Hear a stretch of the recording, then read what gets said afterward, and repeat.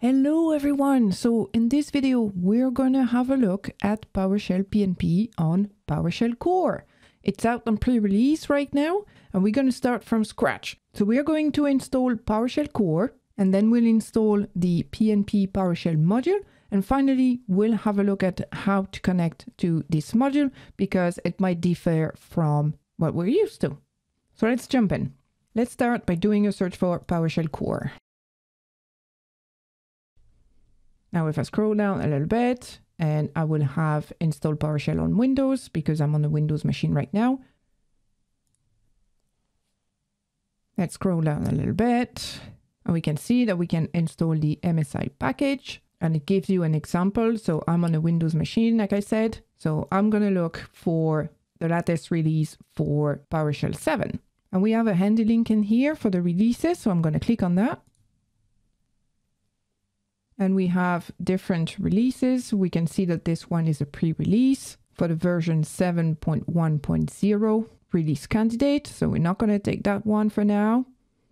And I'm going to scroll down. And we have again a pre-release in here. I'm going to continue to scroll down because what I want to do here and I want to go for a stable release. So so the latest release is the version 7.0.3. So that's the one I want to take. I'm just going to scroll down a little bit. And I'm going to look at my operating system, which is Windows and 64-bit.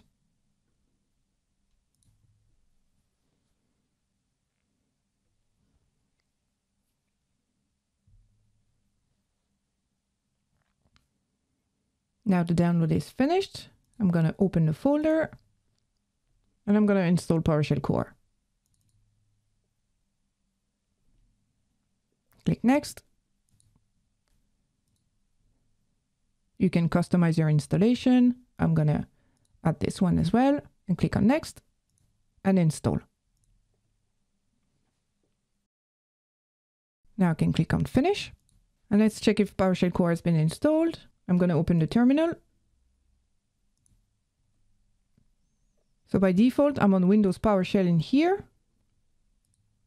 But then you can see that automatically it has installed PowerShell Core, which is this one.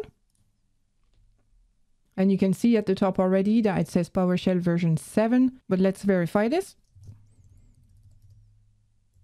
And we are indeed on PowerShell Core this time. Great. So now that we have installed PowerShell Core, we need to install the PNP PowerShell module to work on PowerShell Core. So if we go into the GitHub repo, let me just close that down. And this is the new repo for the new PNP PowerShell on PowerShell Core.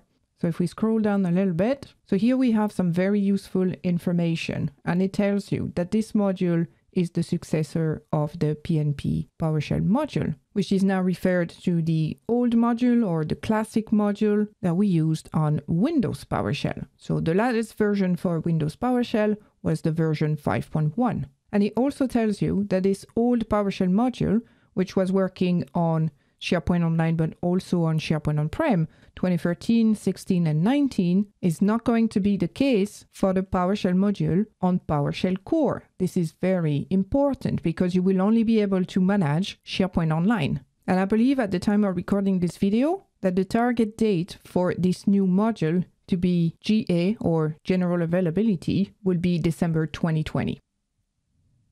So we have some very useful information here on how to install the module or update the module, see which version you have. So let's start by using the install module. And like I mentioned, it's a pre-release, so we need to add the allow pre-release parameter. So let's grab this, copy that, I'm gonna open the terminal, I'm gonna go on PowerShell Core, and install the module.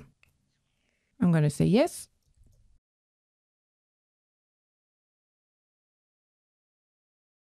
Now let's check it's been installed properly. We're going to grab this command.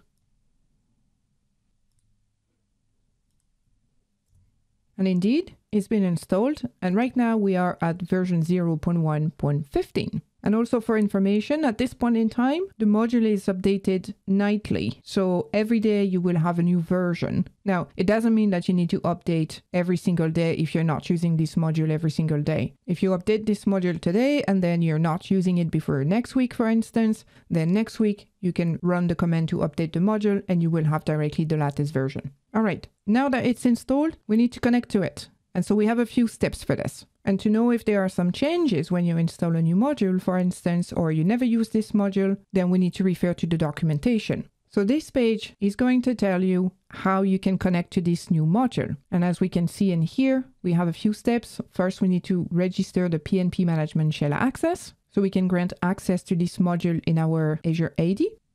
And then we have a few ways to connect. So if you use the PNP module before, you must be familiar with how we need to connect. Now, the only difference in here would be that before we didn't need to have the credentials parameter because we could have our credentials in the credential manager on our Windows machine. Now, it is still the case in here, but we still need to have the credentials parameter.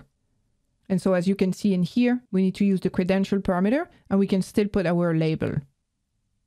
There's another way in here to also grab your credentials from your machine, and that can be followed on a Windows machine or on macOS or on Linux. All right, let's get started. So the first thing we need to do is we need to run this command. So I'm going to grab this. I'm going to go into the terminal. And with this command, we also need to enter either the Azure environment or we also have the site URL. So I'm going to grab the site URL and this one is the URL of my root site on my tenant. And as you can see, you need to authenticate with the code. I'm going to click on OK to open with Edge.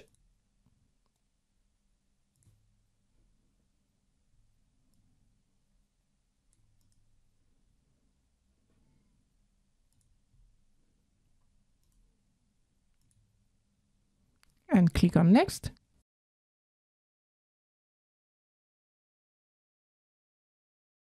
And now we can close this window.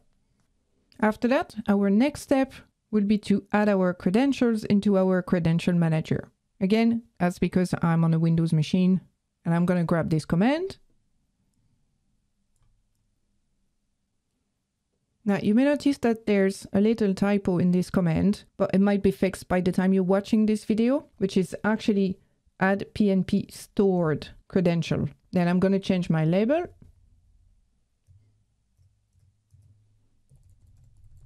and enter my username. Asking me for the password, let me just grab it. And then the next step would be to use the Connect PNP Online and use our new label.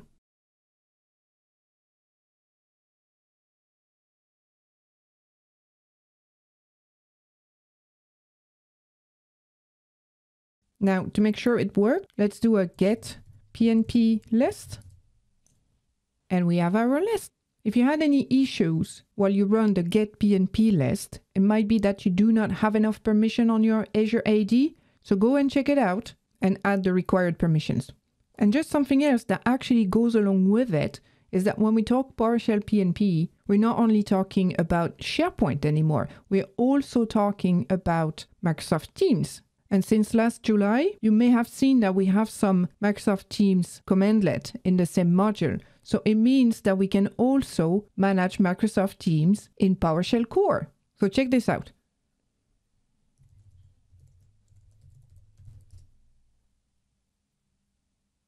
And there we have it. We can use those PNP Microsoft Teams commandlet directly in PowerShell Core as well.